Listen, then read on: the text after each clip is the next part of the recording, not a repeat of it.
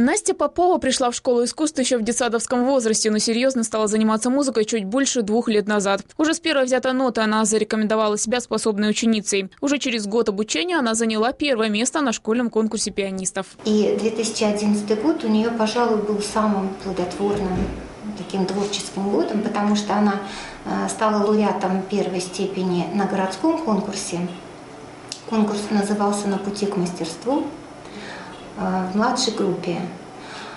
Потом через неделю после городского конкурса мы сразу же поехали в Новосибирск на всероссийский конкурс юных пианистов «Запад, Сибирь, Восток».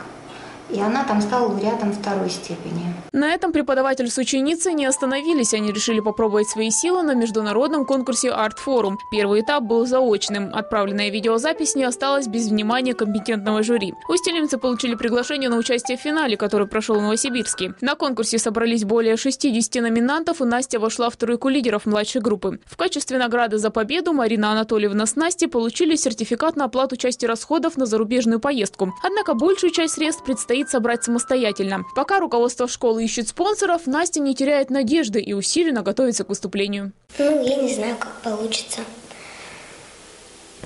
Но я хочу. А чтобы немного отвлечься от всех переживаний, на следующей неделе Настя отправится в увлекательное путешествие. Она получила приглашение и примет участие в новогодних торжествах на Кремлевской елке. Яна Романова, Татьяна Гринченко. Новости.